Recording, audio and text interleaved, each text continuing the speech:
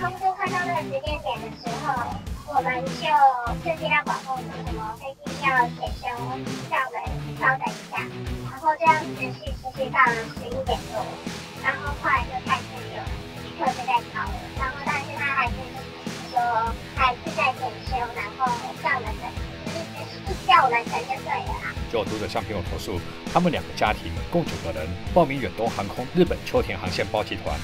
原定在今天上午八点十分飞往日本秋田进行四天三夜假期。但是在出发前，远航广播班机需要检修，需要旅客等待，而且一路等到中午十二点都没有消息。就有人在开始喊饿嘛，然后他们就准备了一个餐盒，然后就是冷掉的鸡肉三明治，就是冰箱冰的吐司的鸡肉三明治，跟一个快凤梨酥，还有一些柳橙汁这样子，给我们让用餐。读者表示，直到下午两点十分，然后才表明班机取消，团费全额退费，且一名旅客补偿一万元。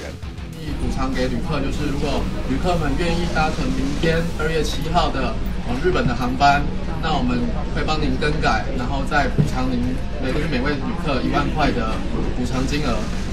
那第二个方式就是，如果旅客是跟旅行社订团的，或者是自己订团的，那我们一样，我们会退全额的团费，不扣手续费，那我们会另外再补偿一万元的金额。但所以今天检修，就算明天检修好了，也没人敢做。我看几乎大家都是退的啦，好像没没什么看到今天再来。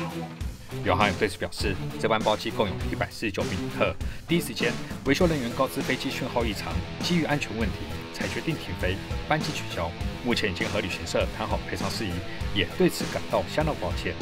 同时间，秋田有一百四十一位乘客无法搭乘返程班机，需延后到明天返台。